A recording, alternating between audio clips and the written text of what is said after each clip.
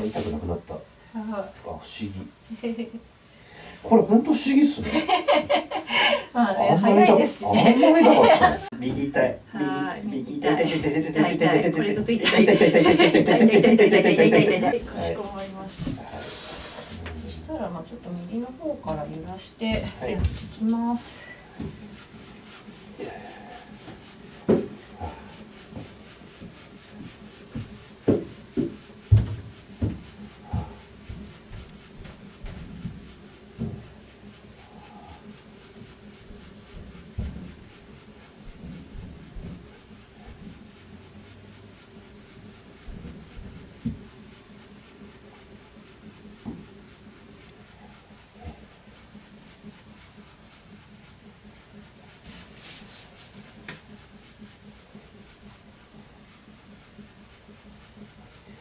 今度のあの朝霞ってあれですよね。えーっとなんか所沢のこっちからでしたっけ？なんかどこでしたっけ？有楽町線のなんか果てる方でしたっうん、あそうですね。けそれからでしたっけ？池池袋のから副新線かなんかのああそうだ福な都新線？はい。かなんかの流れでしたっけ？はいはい。うん。あのワーコーとかはいは通る線で、いですよね。はい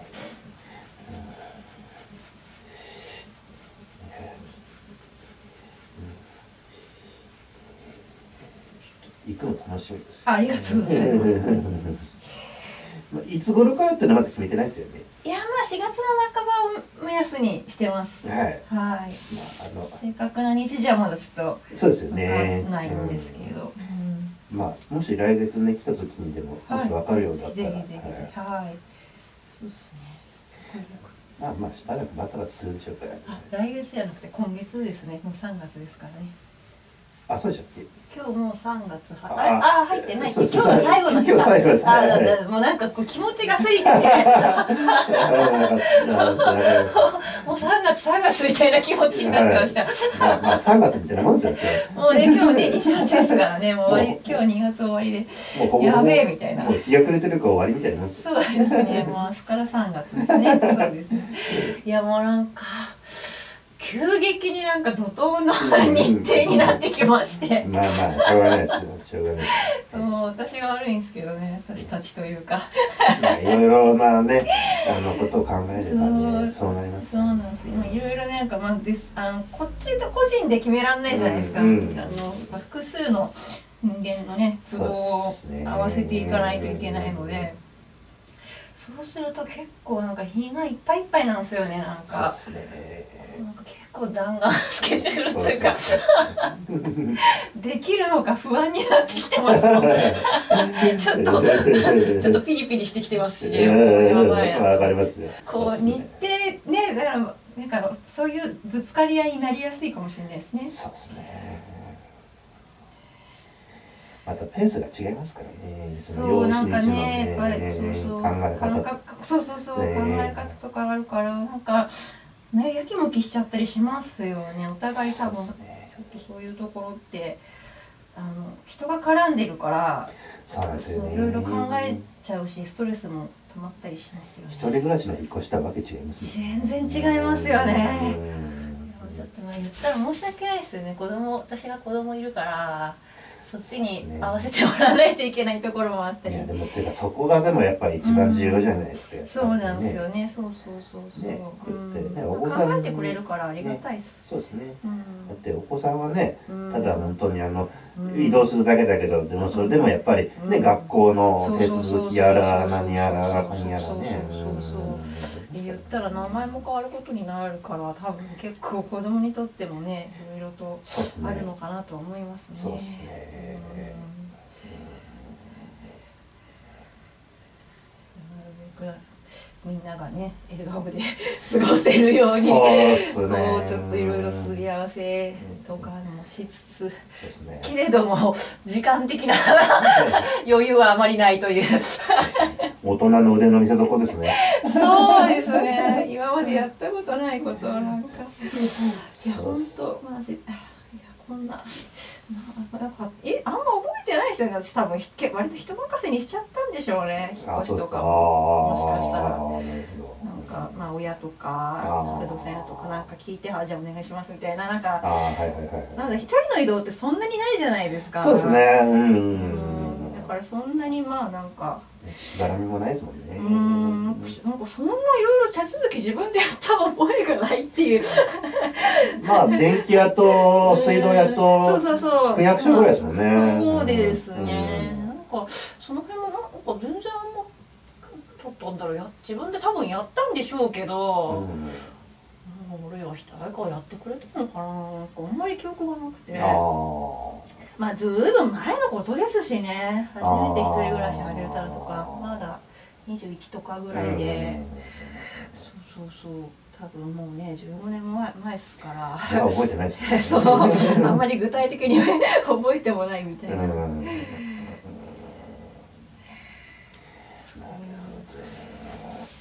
あ痛くなくなった。あ不思議 これ本当不思議っすね まあね早いですしね。あんまり痛かったあんまり痛かったのに。引っ越しの話聞いてる間に痛くなくなったいやマジマンジです感じですうんマンね。ジですマンジらしい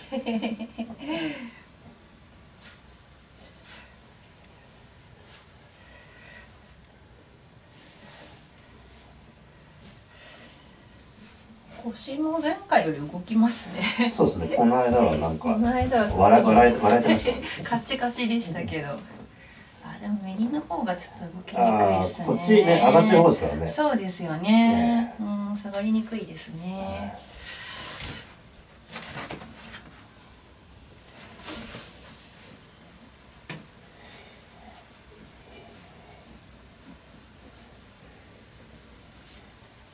間取り的にはひどくなるんですか？あ広いですね結構。あ多分うん今のうちより広いです。広いです。あ。部屋が多いんですよ。ああなるほど。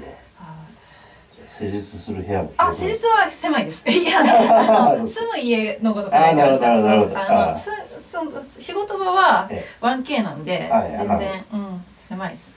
でもまあなんだろうこの部屋はいよりは広いですよね。あーそうはいちょっと奥行きがある感じなのああいいでで。すね。はい。ちょっと出窓もあったりするので。あらおしゃれ。あそうそうちょっと ちょいおしゃれ感あがそうちょっとそうなんですよ。イン。スタ映えしますね。インスタ映えするかな。ちょっとね観葉植物はねお花とかちょっと置けばねいいっすね。ちょっと雰囲気よく。ね。はい。運気も上がりそうですねそうですね。出窓ってなんかねちょっと憧れますよね。あら出窓と思って。ここにしますとか言って結構すぐ決めちゃったんですよ。まあ駅から近かったですしね。あ助かります助かります。そうそう4分なので。助かりますそっからバスバスで何個かとかいやーそれは嫌ですよね。それは無理だな。大学じゃないんだからみたいな。キャンパス遠いなみたいな。大学とかだと結構ねなんかそうですへなんて言うんですかへひなびたじゃないな。ひ偏僻なね。そうですね。ちょっと小さい駅まで行って そこからバス乗ってとかありますけど。でちょっとちっちゃな山の上にあったりそうそうそうちょっと歩くみたいなそうそう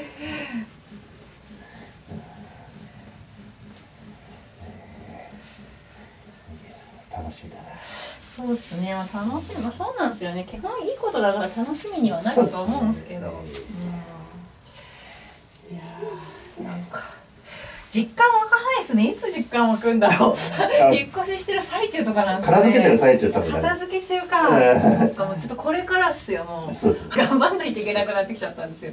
結構一旦荷物はまとめないとみたいな。多分このベッドを片付けてる時とかテレビをしまってる時あたりはね多分すごい思いますよね。ああそっかそっかそうだな、はいそうだからだから段ボールも用意しなきゃいけないなとか今なっててそうですなんね。かうわーみたいな。一気に一気にうわーってなってます。ですよね。